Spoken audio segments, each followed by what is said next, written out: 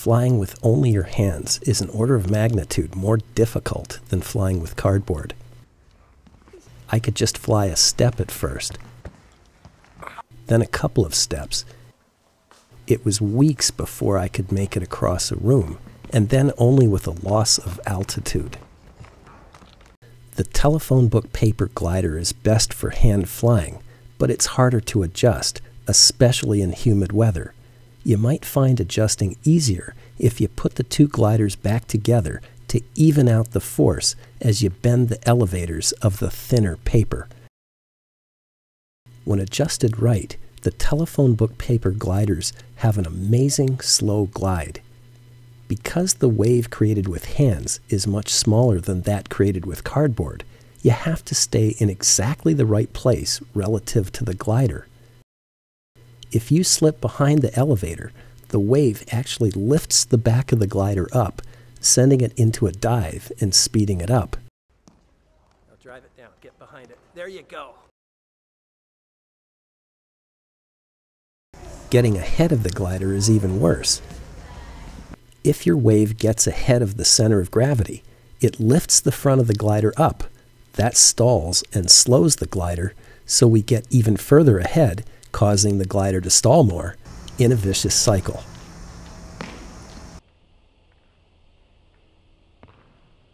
So you have to stay locked on exactly the right place and instantly micro adjust.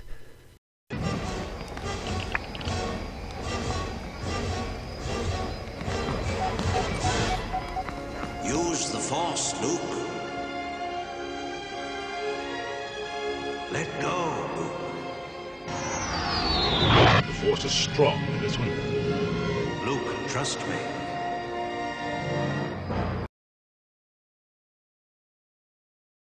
It'll be easier to see where your hands are relative to the glider if you keep the glider above your head.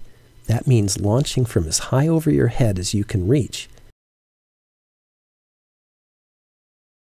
Have your other hand right up there ready to start levitating before the glider can lose much altitude.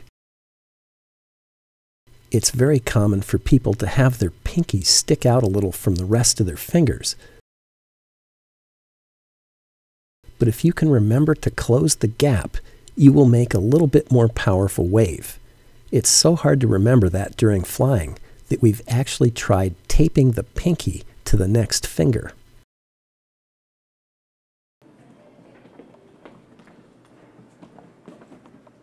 Having a friend launch up high for you might allow you to concentrate on flying. You'll have to experiment with hand position. You can keep them straight up,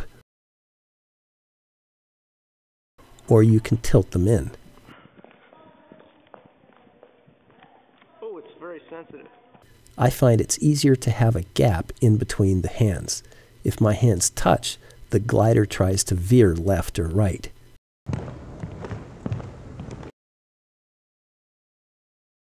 I made the instructions to get people in the air with the least hassle, but as you become familiar with the two for one, there are a few things you might want to experiment with for more efficient flying.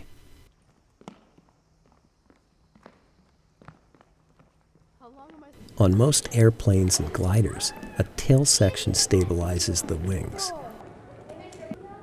However, on a free flight, flying wing designs such as the two for one, to have any flying stability, you need two things that help stabilize but do not help lift weight in the front and up elevator, which is also called reflex, in the back. The weight and reflex kill some lift, but it's the price you have to pay for stable flight. But there might be some room for minimizing the weight and reflex. You can experiment with lowering the reflex a tiny bit and correspondingly cut a little weight off the front.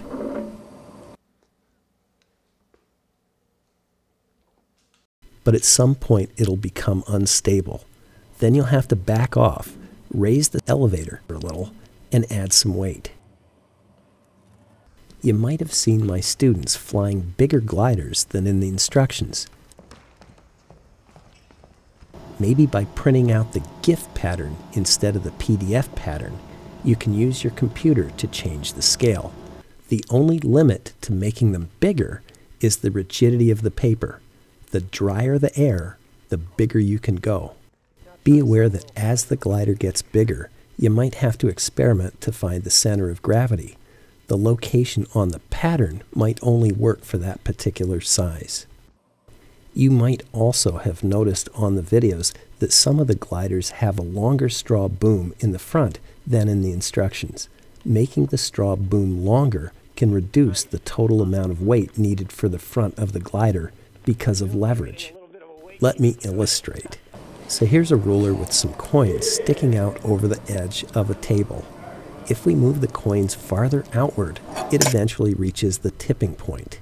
We didn't add any more weight, we just moved the weight farther out on the lever.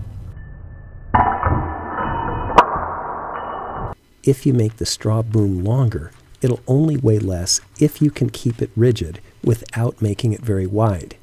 As things get longer, they get flimsier.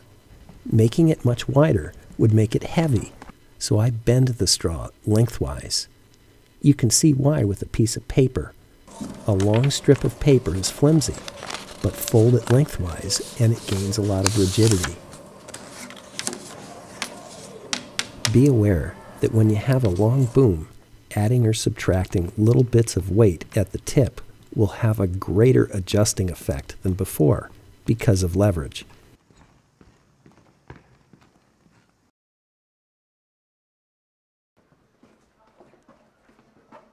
One-handed gliding is experimental hotshot stuff. With a perfectly adjusted glider in dry weather, in dead calm air, on a good day, I can barely keep the glider going. It's hard to fly it straight. I'm experimenting with different finger positions to flatten the top of my hand. When you get close to the limits of flight like this, every bit of weight matters. If you can adjust the glider very well and are flying in dead calm, it's possible to cut off the vertical stabilizers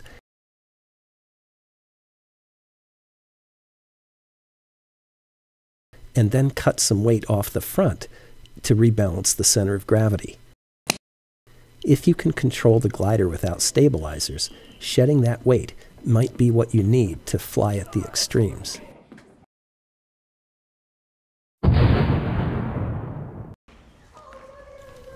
I never said flying with your hands would be easy. Only a few students at my school can fly with their uh-huh. hands, and it took time. Practice was frustrating and we progressed in small steps. But that's real life. We have to work hard for things that are worthwhile. Surfing on a wave of air is worthwhile. It's like magic. As you grapple with building, adjusting, flying, and creating innovations, stay in touch hearing of other people's success is encouraging, and it's what keeps me going. Hearing constructive criticism helps me make better quality revisions. It's always exciting to hear when people come up with new ideas. A good way to feed back into the walk along community is to make a video response. And assuming you already know how to upload a video on YouTube, it only takes a couple of seconds to make it a video response.